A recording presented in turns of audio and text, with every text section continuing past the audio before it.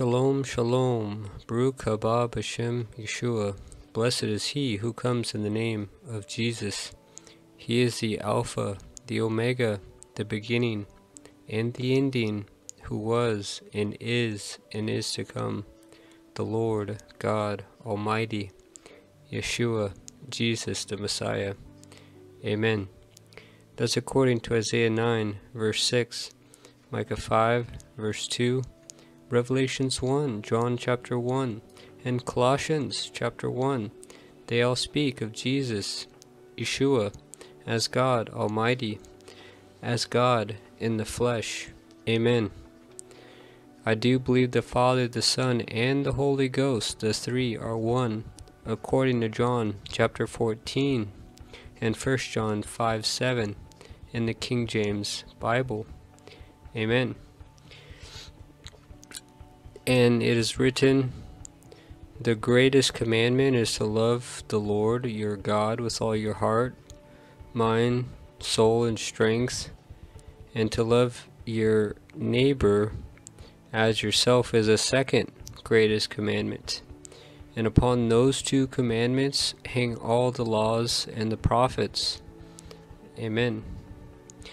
That's according to Jesus' words more or less, uh, sort of paraphrasing there, but that's uh, what the Gospels indicate, and uh, that's what our goal should be uh, in life, in my opinion, is to first uh, love and serve God, and uh, secondly, love and serve your neighbor as yourself.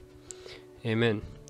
Now, with all that said, I, I wanted to talk about uh, something that's a, a, little bit on my radar. Um, I haven't had any huge confirmations or anything like that, but this is something that I usually talk about every uh, year around the summertime. Uh, as you know, there's some pretty clear clues as to something possibly happening uh, in the summer okay, with the flooding of the Nile season, uh, which is one of the uh, seasons of Egypt, okay, and it has to do with the death and resurrection of Osiris, the pagan sun god, and therefore I believe it also alludes to the rise of the coming Antichrist, who is supposedly Osiris reincarnated. Okay, the rise of the black sun, the rise of the uh, son of Satan, essentially. Now, with that said, uh, let's take a look at some slides I put together. Um, this here is Zechariah 11, verse 17. Woe to the idle shepherd that leaveth the flock.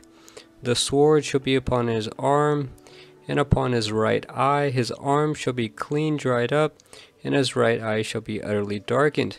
Okay, this is, I believe, speaking of, of Lucifer and his uh, false shepherds, okay, sort of like the Antichrist.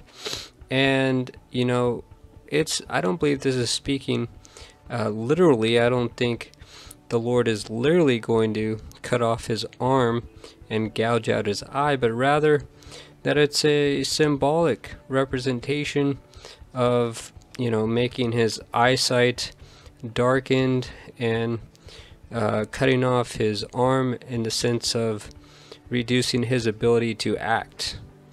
Okay, so a lot of times uh, biblical language is figurative.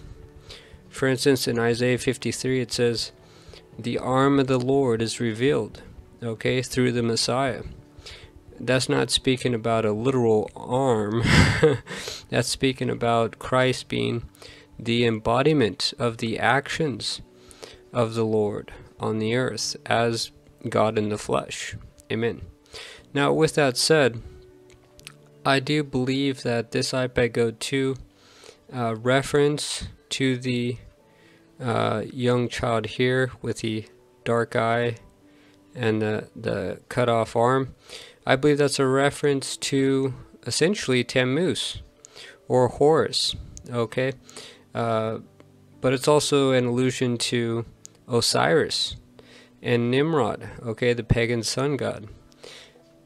As I believe that the myth goes that Osiris was killed, his his body parts were cut up and thrown into the Nile, the Nile River, and then somehow uh, he became the sun, I believe, and then uh, he was reincarnated through his son uh, Horus. Okay, so that's a mythology. So I think this child here represents Horus or Tammuz, the pagan sun god reincarnated. Okay, hopefully that made sense. Um, and here we see on the right here this sort of Mother Mary figure. Okay, I believe this is a reference to Isis, the so called Queen of Heaven, uh, who is the same as Semiramis. Okay, she is the moon goddess, and uh, Horus or Tammuz is the sun god. Okay, the sun and the moon. Uh, it's a it's a complete mockery, uh, and it's uh, the false Luciferian Trinity. Okay, they're made up myths by Lucifer. Okay, yet the Antichrist, I believe, will uh, sort of fall in line with this mythology.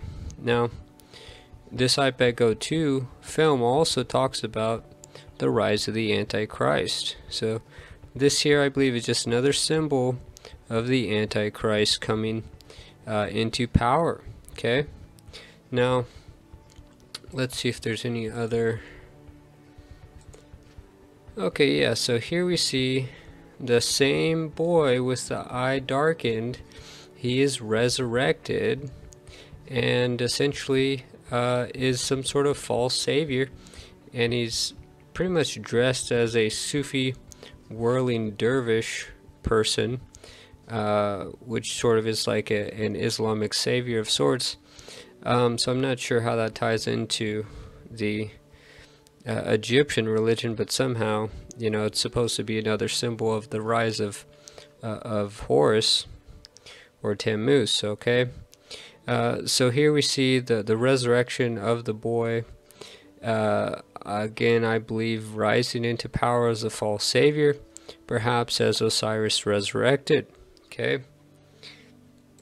Now, bear with me. I am, I'm hopefully getting to uh, something that's uh, quite interesting here. But again, here we see the uh, pagan sun god Apollo, Nimrod, Zeus, and Osiris. Okay, they're all basically the sun god, basically Lucifer worship. Okay, and uh, they always have, you know, their other half, so to speak, uh, which is the moon goddess. Okay, now we also see that uh, the moon goddess is also worshipped and uh, here we see some uh, pop Hollywood stars today. We have Beyonce. Uh, we have uh, I, I can't remember all these celebrities' names, but they are celebrities. I think this is Madonna on the far left, and Katy Perry here. Okay, now in Jeremiah 7, it makes a reference to, to this Queen of Heaven. It says, The children gather wood, and the fathers kindle the fire, and the women knead their dough to make cakes to the Queen of Heaven, and to pour out drink offering unto other gods, that they may provoke me to anger. Okay? So, let's just take a pause right there. We've established that the Luciferians you know, they worship the, the pagan sun god and the pagan moon goddess, okay? And uh, essentially it fits in with this uh, pagan Luciferian trinity of the mother moon goddess, the father sun god, and the reincarnated son sun god. Okay, it is the false trinity of Lucifer. Now, let's take a look at. Uh, this I Pet Goat 2 scene.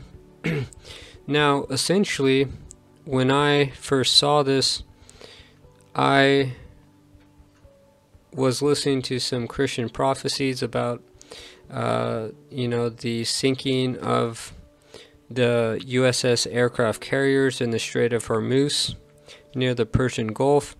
And so I assumed that these objects here are pretty much uh, a reference to the capsizing uh, U.S. aircraft carriers into the ocean. Okay, you see them protruding as if they're sinking ships, and you also see an explosion here. Okay, maybe alluding to an explosion on the aircraft carriers. Now that still may be the case, but I'm wondering also if th these could actually be oil uh, tankers uh, transporting oil. Okay, and it might be uh, possibly a attack on our oil supply, uh, perhaps in the Strait of Hormuz. So that's something to consider. I think most of the uh, a large portion of the world's uh, oil supply, I think, comes from the Persian Gulf and the Strait of Hormuz, uh, which is sort of near the Nile River. And this obviously is a representation of the Nile River because this is Isis, okay? And Isis, according to the mythology, uh, cries a river, uh, which is the start of the Egyptian New Year, the flooding of the Nile. Okay, and it happens around the time of the summer solstice, which is about June 21st or 22nd of every year. So we have this scene being linked to a certain time period, a certain season of Egypt, which is the summer season after the solar, uh, the sun solstice, uh, and therefore, you know, this is something to watch, in my opinion. And this could be hinting at the sinking of oil tankers or USS aircraft carriers in the Strait of Hormuz or near the Nile River. Okay. Now, of course, here here's the dead body of uh, Horus or Osiris. Okay, the uh, so the coming Antichrist. Okay, and she's crying over his uh, over his death. Okay, this is Isis weeping uh, for the death of Osiris. Okay, and I'll get into the mythology, but let's look at this scene here.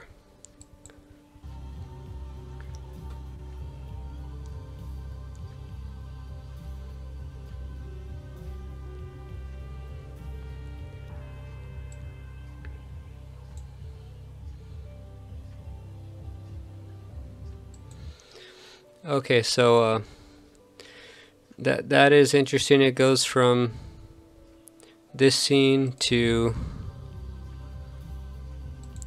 the one eye symbolism. Okay, the idol shepherd. Uh, again, uh, referring to the death and resurrection of the uh, pagan sun god Osiris. Now, before that scene came, uh, it shows this as well.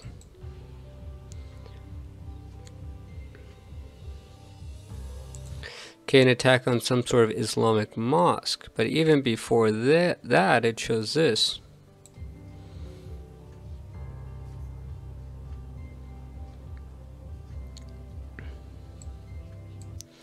Now it shows on his uh, eyes a reflection. It says NASDAQ here, S&P 500, and it says market plunge. Okay, so the markets are plunging. It's talking about a dive in the stock market. It's something he's seen on the news. And then it says war coverage, war coverage news. Okay, dollars US. Okay, it's I think it's about the the collapse of the petrodollar, the collapse of the oil industry, in my opinion, and also World War III. Now let's continue. Now here we see the this I believe is a reference to the Masons, the square and the compass. And there's three square and compass uh, bomber jets. And they basically uh, go and bomb an, an, Islamic temple, I believe, uh, somewhere in the Middle East. Probably a false flag event to escalate tensions to escalate World War III, per perhaps even uh, this summer. So that's something to watch for as well. Perhaps a false flag bombing in the Middle East, in perhaps Iran or, or another Muslim country, in order to increase tensions between the West and the Muslim nations. Okay, let's continue.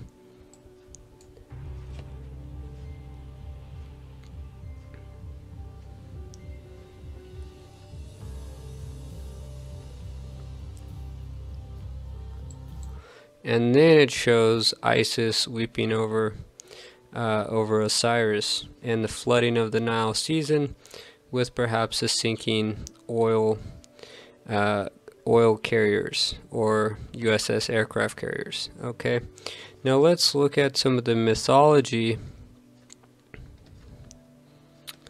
Let's see. Um. Well, according to the Luciferians, uh, one of their satanic holy days is, uh, you know, it's called the summer solstice. I think it's called uh, Litha or something like that. And you know, it's it's a time that they regard the Luciferians regard this day, the summer solstice, uh, as one of their, you know, special days. So they probably have some sacrifices uh, planned out uh, in which they kill people to uh, sacrifice to their gods. Okay, so that's something to consider. Here we see that uh, being done in the Bible in 2 Kings 23, verse 5. And he put down the idolatrous priests whom the kings of Judah had ordained to burn incense in the high places in the cities of Judah and in the places round about Jerusalem, them also that burned incense unto Baal, the pagan sun god, to the sun and to the moon, and to the planets, and to all the hosts of heaven. Okay, so let's take a look at an article here. This is from Egypt Today, okay?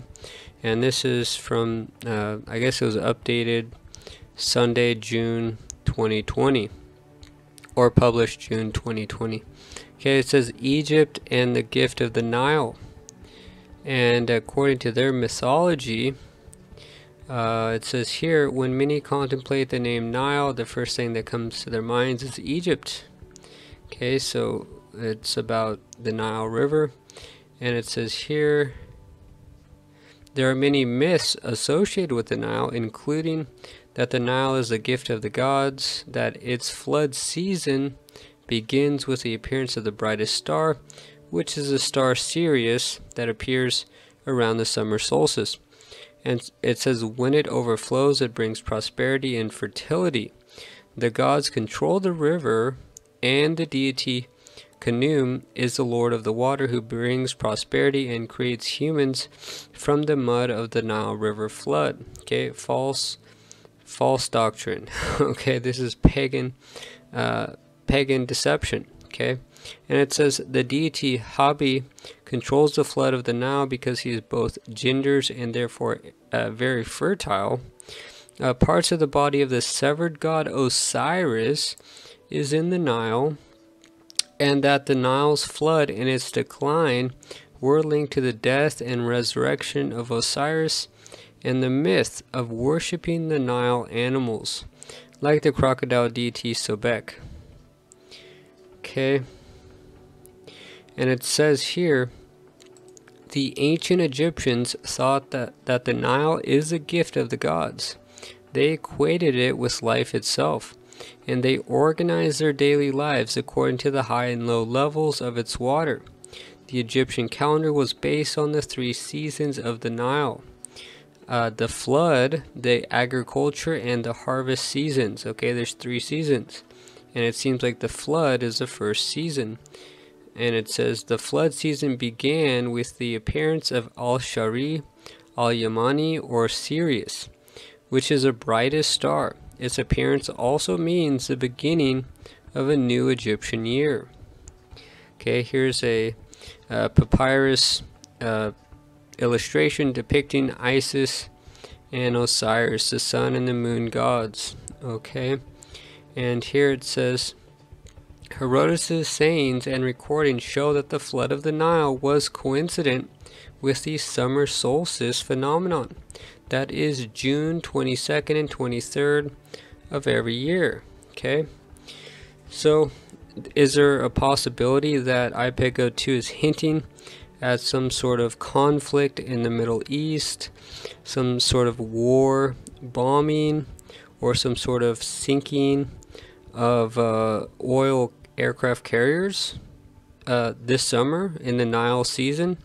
Very possible. It's something we should be uh, watching for, just so that we understand uh, what their plan is. Okay, I think it's probably part of the collapse of the system, the collapse of the current world order, in order to bring in the Great Reset and the rise of the Antichrist, false savior, out of the midst of chaos and death and destruction. Okay? And it says here, because the Nile means life, when it overflows, it brings prosperity and fertility to the soil and people around it. But if its water level rises too much, people lose their mud houses and so on and so forth. Thus, it was important for the gods to control the river. The two main deities involved in organizing this process are Khnum and Hapi, according to legend. Okay, it goes into some mythology here. And then, let's see, let's get to the part where it talks about um, Osiris. It says here, in addition, uh, Osiris played a role in one of the famous legends of the Nile. And this legend says that Osiris was killed by his brother Set because of jealousy. His body was cut into 40 pieces and thrown into the Nile which in turn threw shredded parts of Osiris's body in the Mediterranean Sea. However, his wife Isis succeeded in finding and collecting his body parts, and thanks to the magic powers she possessed, false, Isis managed to revive Osiris and conceive a child, which is Horus. And uh, he grew up in the papyrus field in the delta far from his malevolent uncle Set. Okay, later the god Horus succeeded in avenging his father Osiris by killing his uncle Set, and from here the death and resurrection of Osiris became associated with the flood of the Nile and the decline of its water level. Okay, and it says here some sources say that the ancient Egyptians believed that the flood of the Nile was the tears of Isis, mourning the death of her husband Osiris, which is which is what is now called in Egypt Wafa el Nile, loyalty of the Nile, which Egyptians celebrate for two weeks starting from August 15th. Okay. So again, uh, you know, the flooding of the Nile is connected with the uh, death and rebirth of uh, Osiris, the pagan sun god, and uh, Horus is supposedly a reincarnation of Osiris. And, you know, the Luciferians, I believe, consider the coming Antichrist, the coming one world dictator, uh, to be the resurrection of Osiris or Nimrod or Zeus or any other pagan god. Okay? They're all one in the same uh, to the Luciferians. I believe that is what they believe. Okay, so uh, something to watch for. It could be a summer of mayhem. Okay, if there is an attack on the oil supply, it would literally shut everything down. There would be, you know, nothing on the shelves. There'd be no gas. Okay, it would be utter and complete chaos and anarchy for the summer. Okay, so these are things to watch for. I believe the rapture is very soon. Let us uh, watch and pray that we are counted worthy to escape, according to Jesus' words in Luke 21 36. And shalom. Until next time, amen.